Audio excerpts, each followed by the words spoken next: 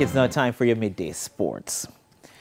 President of the Intersecondary School Sports Association, Keith Wellington, has joined those sharing condolences to the family and friends of former competition officer George Forbes, who passed away on Tuesday night. In a release this morning, ISSA noted that Forbes provided sterling leadership to the association and was instrumental in ISSA's efforts to modernize its operations while fulfilling its mandate. Wellington praised Forbes for his leadership and vision. ISSA is saddened that the death of our former competitions and executive officer, Mr. George Forbes. George worked for ISSA for over 18 years and was a stalwart. He really played his part in the growth and development of ISSA over those, those um, 18 years.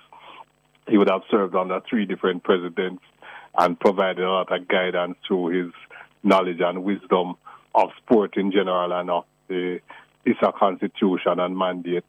We are really saddened at his loss and share our condolences with his family and close friends. Forbes joined ISSA in 2002 before retiring in 2020.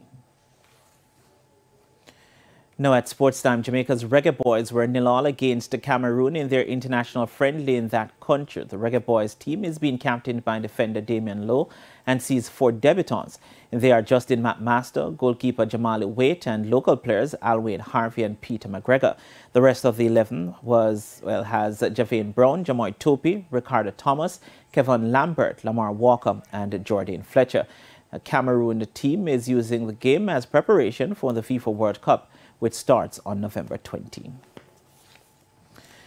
And back locally, defending champions Kingston College and Mona High can clinch their semi-final spots today in the ISSA Manning Cup when they take on Charlie Smith and St. George's College respectively in the quarterfinal round. Kingston College take on Charlie Smith in the first of the doubleheader at 1 p.m. at the Stadium East Complex. KCR coming off a 4-1 win over rival St. George's College and a win today against a Trenchtown-based school and STG failing to do the same against Mona see the Purples into the last four.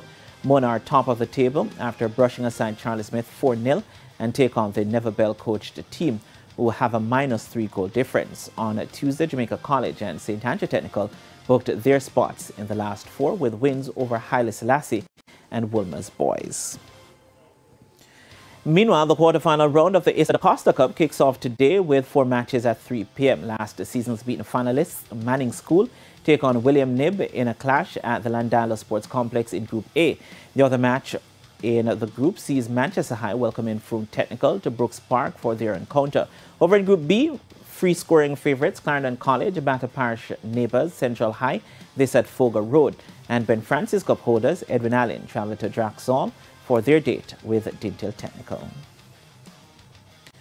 Now to cricket, the Jamaica Scorpions kept their hopes of qualifying for the semi-final of the CWR Regional Super 50 Cup after beating the Barbados Pride by five wickets at the Sir Vivian Richards Stadium in Antigua on Tuesday evening. Chasing 177 runs to win, the Scorpions got to victory for the loss of five wickets with 29 balls to spare. Brandon King, 41, and Chadwick Walton, 37, were the top scorers as Kamari Boyce had 2 for 27. The two shared in a 91-run opening stand before the team lost three wickets for 23 runs. Andre McCarthy contributed 31, while Rovman Powell and Peat Salmon made 17 each, with the latter unbeaten. Earlier, after electing to bat, Barbados Pride were bowled out for 176 in 45.5 overs. Captain Shai Hope was the top scorer with 49, while Akeem Jordan and Shamar Springer made 21 and 20 respectively. Dennis Bulli bagged 3 for 31 for the Jamaican franchise, while Jeavor Royal claimed 3 for 33. The Scorpions were recording their second win of the season, having defeated the Pride by 68 runs in their first meeting. The Rovman Powell captain team have lost to the Leeward Islands Hurricanes and the West Indies Academy in their two other games. The top two teams from the group will advance to the semi-final.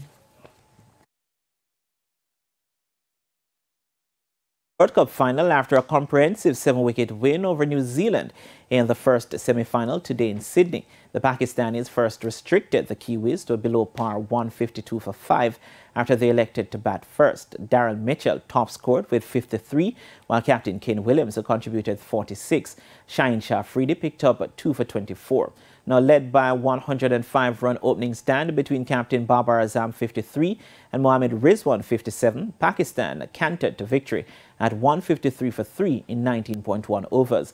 The 2009 champions will oppose either, in, either India or England in the final as they square off in Thursday's second semi-final at the Melbourne Cricket Ground in Australia. And that's it for your midday sports report. Shamela, it's back to you. Thank you, Renardo. And that's the midday news. I'm Shamela Pullen. Join us at 7 for primetime news. On behalf of the news, sports, and production teams, good afternoon.